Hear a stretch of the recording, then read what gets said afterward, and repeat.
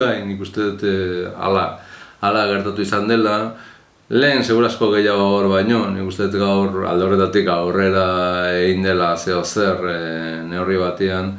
Baina bai, nik uste dut e, nolabait agonismoaren mm, txamponaren beste aldea dela akritizismoa eta gehiagizko protekzionismoa. Da, nahikoa da, e, euskeraz, zerbait sortzearekin. Eta horrekin lotuta ongo litzateke ere beste gaitz batzuk e, adanismoa bezalako. Ez, bueno, fin, nina izen ez lehenengoa, e, ba, idatzi dudan, en fin, ez, e, e, ez dakit, eskimal estralburtarren inguruko e, futbol partido baten inguruko e, poema, pues bueno, e, horrek ja bihurtzen nau e, baiteko pionero bat, ez? Eta bueno, horrek agian izango zuen zentzua semeretzi garren mendean edo garren mendearen hasieran non Euskal Idazleek idazten zuten batez ere komunidade elebakar batentzako eta agian hori zen modu bakarra, pues alako gauza eta berritasunak haien gana heltzeko, baina gaur egun e, mundu globalizatu batean non Euskaldun guztiok ez baldin barea gehienok ez gera, sabe, gutxien ez elebiduna gera eta batzuk eh, asko ere gehiago, pues horrek ere ez dauka zentzu gehiagirik, ez?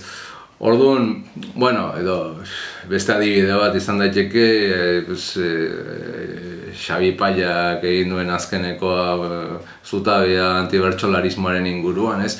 Fin, gauza kukitu ezinezko gauza batzuk badaudela euskal kulturan, ez? Pues zergatik, ez? Ba, bueno, nik uste talde horretatik, ba, bueno, gehiagizko protekzionismo hori, ez dela ona, zein zuzen ere zerbait baldin bada kultura, eta hori oso ondo egiten zuen Ricardo Arreik eman zion arrapostuan deiako bere zutabean, bada hain zuzen ere kulturak zerbaitetarako balio bar baldin badu da hain zuzen ere gauzak zalantzan jartzeko, ez da kultura bera zalantzan jartzeko neurri handi batean, ez?